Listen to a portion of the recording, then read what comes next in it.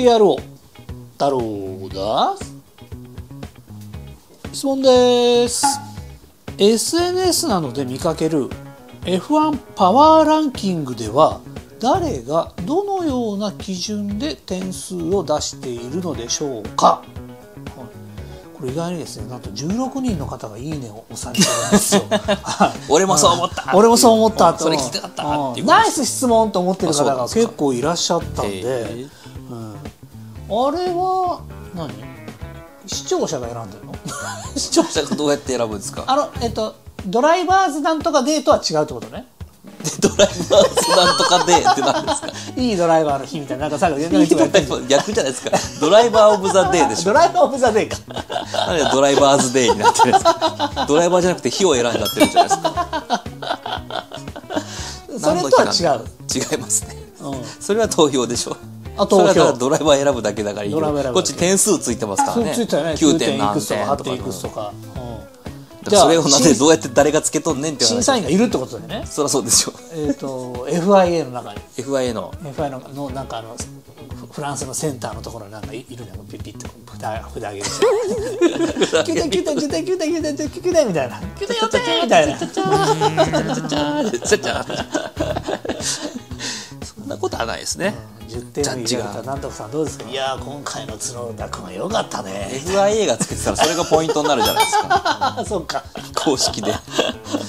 えー、じゃあ誰がつけてんの？なんか選ばれるの抽選で。選ばれし、まあ実際あの非公開なんですけど、あ非公開なんだ。へまあ、一応 F1, F1 の公式のその、まあ、イベントというか企画としてやってるもので、えへえー毎回5名のうん。ジャッジがいて、あ少な。っ でその人たちがうん。全ドライバーを、うん。まあ、点数10点満点で、はもう角田何点とか、フェルスタッペン何点ってつける、まああの車の性能とか別として、うんそれを除いて今後のドライバーは今週末頑張ったねとか、頑張ってないねとか、ドライバーの注目した人ってことね。注目じゃなくてドライバーの働きそのものを評価するっていう結果云々だけでもなく、うん優勝したからとかじゃなくてこの車この車でこんだけ頑張ってるっていうのはすごいよねっていう、だから角田選手が結構上に来たりするんだ。そうそうです。まあ、そうじゃないと普通にランキング順になっちゃうつける意味がないので。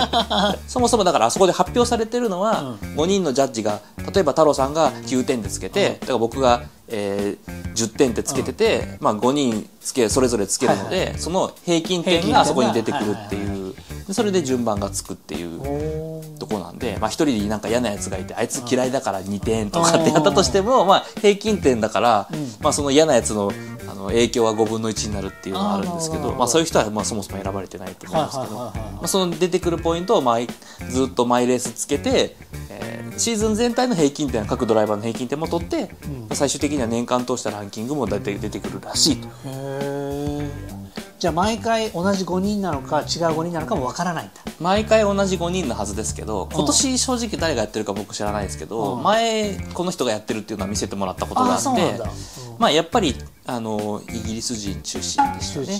だからまあうん関係そ者ってこと？関係者。うんなんかその F1 の公式に登録してる人にこうランダムに5人ピョッと。そうすると本当に人気投票になっちゃうじゃないああそうかそうか。僕はハミルトン好きだから10あそうかそうか。点とかどうやったってお前今回やってるよねっていうのあったりするじゃないですか。正しい冷静なあれができなくなっちゃうそうね。いう一応客観的な立場ですよみたいな人が、うん。まあ、メディアの人とか、チームじゃないけど運営してる側の人たち。で、まあ、構成されて前なんか10人だった気がしたんですけど、まあ、、今5人ということで。10人も5人も一緒だよねみたいな感じになったよねもう。ややつまあで、そうかもしれないですね。まあ、5人で十分バランス取れるしみたいな。まあ、本当はだからそこがもう少しね10人ぐらいいて、うん。それぞれ国籍もはいはいはい違ってて10カ国の人がみたいな風にやるのが一番公平だとは思うんですけど、うん。まあやっぱりなんだかんだ言って、ね、イギリス人が多いのでイギリス人主体の選択になるし、まあ、そうすると結局はやっぱり例えば我々から見るとジョージ・ラッセルがどんだけ頑張ってるか言うほど見てないけどうん。やっぱりイギリス人だからジョージは頑張ってるよねみたいになったりするしね。ランドは頑張ってるよねみたいな。最近は成績もいいからいいけどね。成績いまいちだけど、まあ、マクラーレンのあの車で頑張ってるよねっていう、まあ、ちょっと同情票はつきやすくなりますよね。それでいうと例えばボッタスとかね、だとなかなかそういうのはつきづらいしじゃあアルファロメオのことどんだけそのジャッジする人が取材ちゃんとしてるかっていうとまあ微妙っちゃ微妙ですよね。なんとなく頑張ったよねぐらいのね。評価になりかねない。レースで、ね、20代を全部追っかけられてるかっていうとどうしてもそこには。サージェントのレース週末を全部フォローできてるかっていうと なかなか難しいですよね。確かに確かに。っていう気はしますけどね。だからまあまあそんなもんってことですよ角田君だってやっぱり頑張って同じ頑張ってて同じ全力出しててもやっぱり入賞権いけるかいけないか争ってたら目立ったからん。角田君は頑張ってるってなるし同じ実力出し切って同じように戦ってても13位争いしかしてなかったらやっぱりそこは高い評価つかないじゃないですか。目がいかないとね。僕らは角田君のレース始末ずっとフォローしてるから、うん。今回の予選あんだけしかいけないどんだけ頑張ってもここまでしかいけない車で13位争ったらすごいよね、うん。車以上だよねって言えるけど、まあ、ちゃんと見てない人がどう思うかってやっぱり13位でしょって思うから、そうね。それは高いポイントにはなりかねはいなり得ないですよね、っていう気がしますけどね。うん、まあ、だからまああの余興程度に考えとけばいいんじゃないかなと思いますけど。なるほどなるほど。まあ、角田君自身もそういうふうに言ってましたねだからね。ああまあ、もちろん順位が上だったら嬉しいけど嬉しいけどね。まあ、あんまり気にしてないっすまあ、ゆ要するにそれぐらいちゃんと自分たちのレースなんか見てくれてないでしょって思ってるってことだと思うし、言言ったところでわからないでしょって思ってると思うんですよね、ん。中では別に俺たち頑張ってるしって、ん。そんな例えば6点とか7点とかつけられるようなレースの仕方はしてないっていうのは多分自分の中で常に10点だと。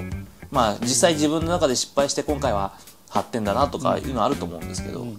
まあ、そういうのはドライバー自身にやらせればいいのねじゃあ。ドライバーにレース終わった後今日今回何点ですかってさすがにミスしてる人が10点ですとは言えないでしょ、うん。いやだから6点ですかねみたいな。ドライバー自身の点数も足せばいい。で6人でそしたらまた順位がねまた多少変わってくるんじゃないかなと思うけどね、うん。まあでもあの少なくともいいいい加減な審査員ではないということだけは間違いないでもそれだったらジャッジ誰か言う明かさないと意味ないですよね、まあ確かに。ジャッジが出てないっておかしいですよランキングとしては、確かに採点してんだから。誰がやってるかわかんないっていうのはね、うん別にそれでこの人がジャッジやってるんだと思ったから分かったからといって、ね、チームとかドライバーが「ねえねえちょっと次俺に10点つけてくんない?」とかっていうこともないし別にあれでなんかポイントもらえるわけでもないから選手権とは関係ないんだから、うんやっぱそこは誰がジャッジしてますよでこの人は何点でつけたっていうのが見えないと面白くないと思うんですけどね。そうだね。その中であいつはやっぱりハミルトンが好きだからいつもハミルトンに甘い点数つけてるとかっていう人がいたとしても別にそれはいいじゃないですか。その人の主観だから、ん。その主観も含めてその人起用したんですよね。って、別にその人だけで決まるわけじゃないから、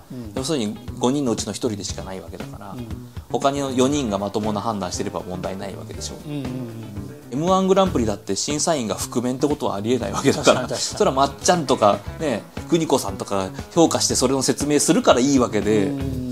そういうとこなんじゃないのとは思いますけどね。まあもうちょっとねだから一つのコンテンツとして今言ったように、うん。少しそういうババラエティショーアップをするとまたより、ね、盛り上がるんじゃないのかなと思いますけども。まあ現時点ではまあちょっと覆面状態で一応中の関係者の人がやっているということでございました。はい。今回の質問ねたくさんの方に、えーいいねボタンいただきましたが、えーお答えの方いかがだったでしょうか？よかったよ。どうもありがとうと思った方！いいねボタン。チャンネル登録。F1 ライフサマー T シャツは概要欄からよろしくお願いします。あらかした。